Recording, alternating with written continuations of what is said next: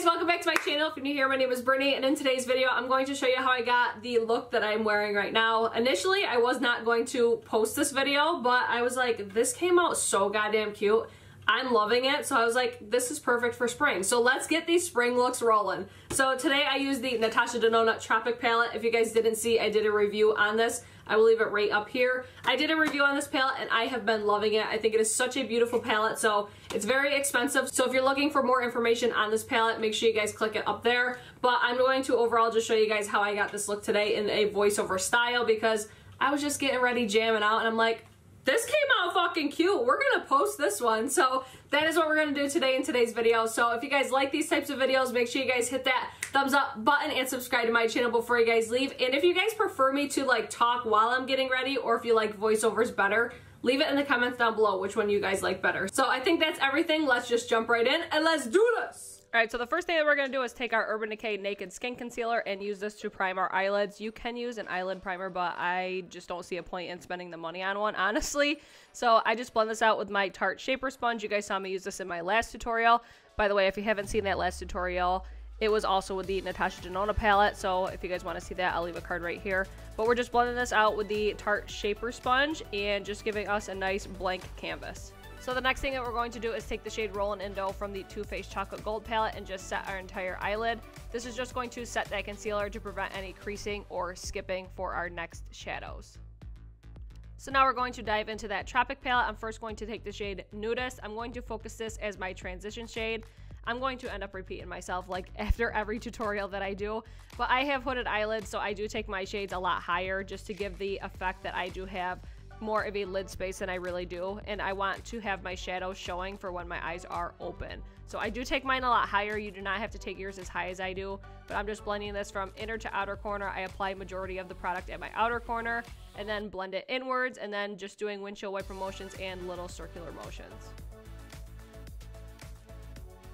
Now I'm going to take my Sigma E55 in the shade Peach Puff. This is also in the Natasha Denona palette.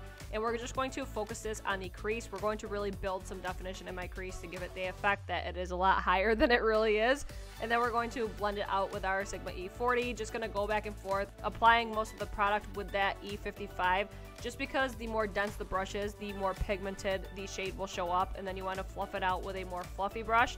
That way it doesn't look so harsh.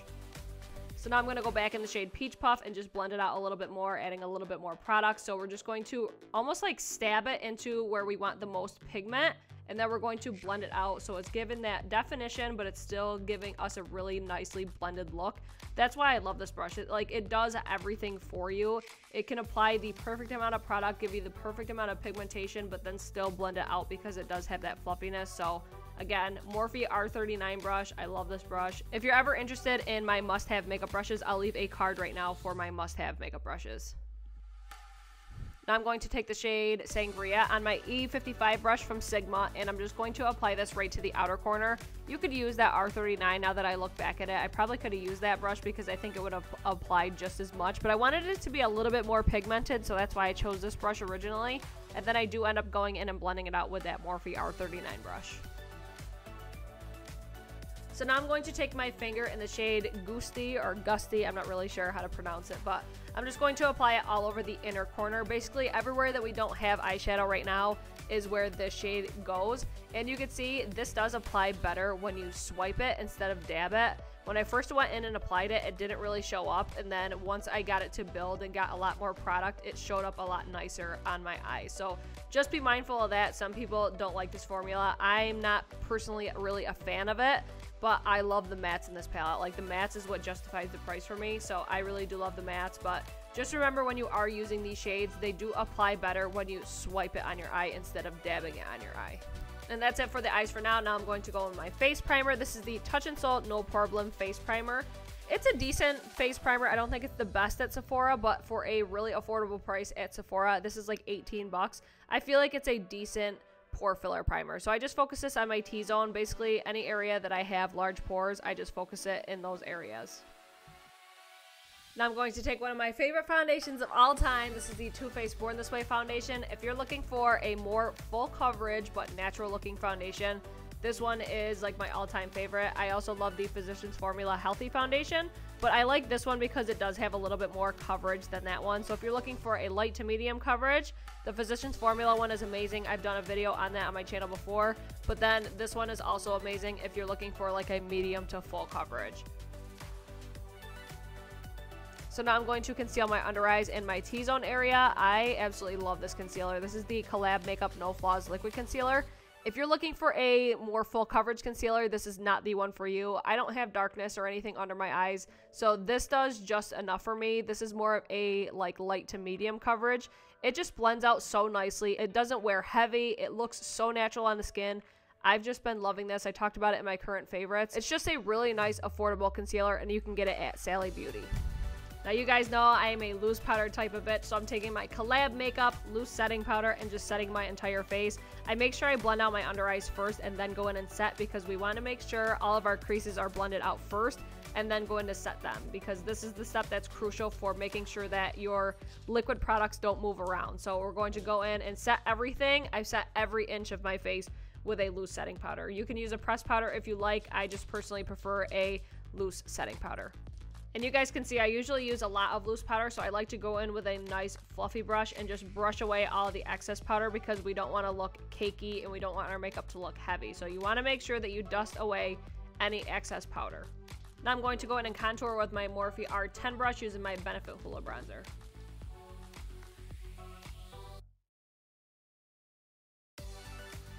Now I'm going to go in and bronze using my Morphe M551 and Makeup Geek Bronze Luster, I think these are called, and this is going to be the shade Tawny.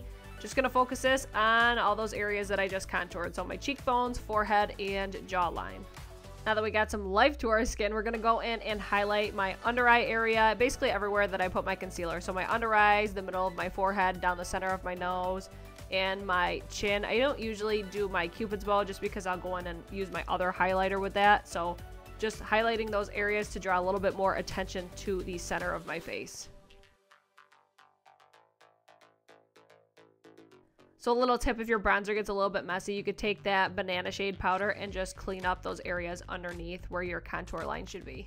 Now I'm going to go in with blush. This is the Benefit California blush and using my Luxie 640 Pro Precision Tapered Brush. This just gives you a nice little wash of color, doesn't give you too much and I'm just applying most of it right to the apples of my cheeks and then I do blend it back right above where I bronze.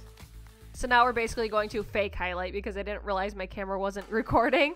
But I'm just applying the Anastasia Beverly Hills Gleam palette in the shade Crushed Pearls. I believe you can get this in the new palette, but I could be totally wrong. I'm not sure. I haven't bought that one yet.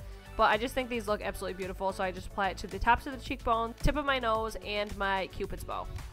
So I just skipped over the brows because I've done a brow tutorial on my channel before and I do it the exact same way. So I'm just taking my Wet n Wild brow mascara and just tapping off my brows, give myself a little bit more coverage, and that will be it for my brows. Now I just want to get rid of all that powderiness, so I'm going to go in and spray my face with my Urban Decay All Nighter Setting Spray. Now I really wanted to pop a color with this look, so I took my Wet n Wild On Edge Long Wearing Eye Pencil in the shade Sapphire and Ice and just lined my waterline, and then we eventually go in with the shade Laguna from the Natasha Denona Tropic palette and just set that with our flat definer brush just to give that a nice bright pop of color.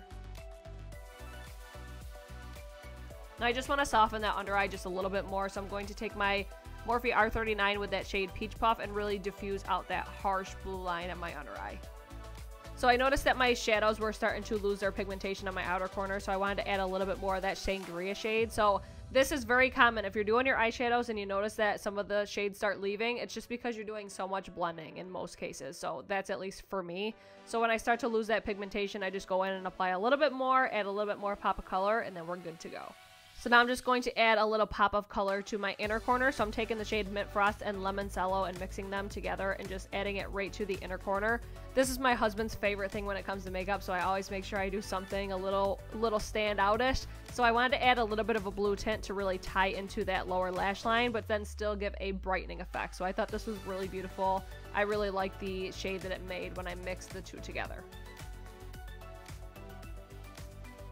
I forgot to tell you guys what brush this was. This is the Morphe E38, I believe, or E36, one of the two. That's what I use mostly for my inner corner and brow bone highlight. But now I'm just taking the shade Lemoncello by itself and just adding it right to that brow bone area.